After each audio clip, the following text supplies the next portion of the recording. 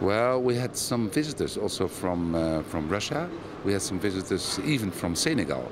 Uh, so I think it's also we're working worldwide. We have offices all over the world. So for us, it's also good as a visit card to be here.